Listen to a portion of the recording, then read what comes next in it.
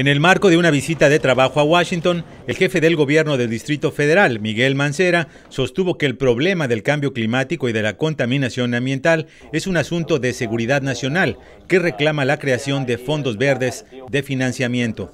Me parece que deberíamos de crear más incentivos, más fondos verdes.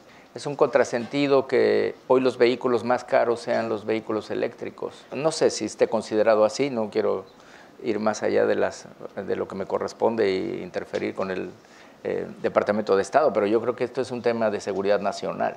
Mancera participó como orador del foro El reto de las megaciudades, organizado por el Consejo Atlántico de Washington, donde sostuvo que el financiamiento es uno de los principales obstáculos que impide avanzar con mayor velocidad contra el problema. Nosotros estamos reiterando, estamos eh, pues eh, haciendo el planteamiento que todas las ciudades las ciudades que realmente muestren avances en sus metas, en sus, en sus tareas, pueden recibir algún apoyo. Sobre todo, yo creo que si se elimina la burocracia para obtener los fondos, vamos a tener un avance, porque todavía hay mucha burocracia para poder tener fondos. Antes de su intervención, el jefe del gobierno capitalino sostuvo un encuentro con el presidente del Consejo, Frederick Kemp, y con el secretario de Vivienda y exalcalde de San Antonio, Texas, el mexicano-americano Julián Castro.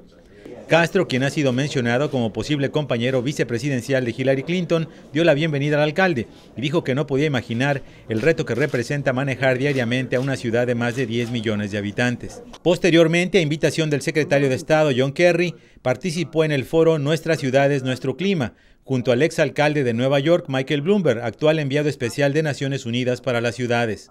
Allí pidió una mayor participación de la iniciativa privada en temas ambientales. A mí me parece que hay temas muy importantes donde la iniciativa privada está convocada, donde los bancos, los grandes bancos, los que tienen los fondos, los eh, grandes ahorradores, esos fondos tan importantes deben de participar de, manera decidida en este tema del cambio climático.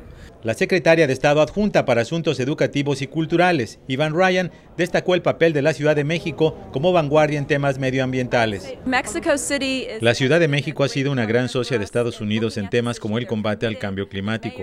Él mostró el pleno compromiso de la Ciudad de México de hacer los cambios necesarios para colocarse en una mejor posición.